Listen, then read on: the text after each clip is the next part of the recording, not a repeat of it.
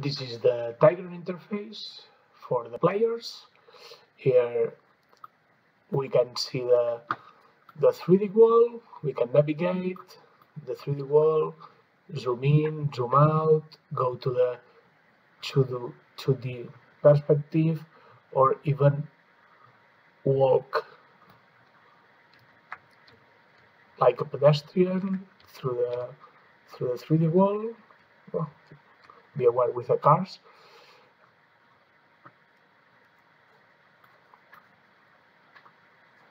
Um, here, these are this is the stakeholder which we which we are playing with. This is uh, these are all the indicators that change in any action made in the game for any player. This is head, water storage, involved people in ECS, green space management, and so on.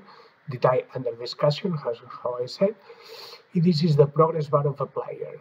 Uh, the player to win need to fill this progress bar, which is a weighted sum of the progress of the progress of each individual indicator. Uh, here there is a navigation menu, and here are overlays that shows additional information to the to the players. For instance, this is the overlay of heat effect. Here we can see the heat effect of any building of the city.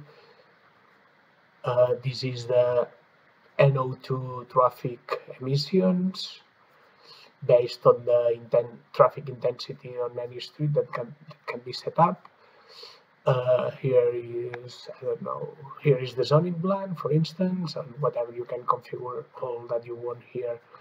And this is the actions menu. That is what the players can do on a game session.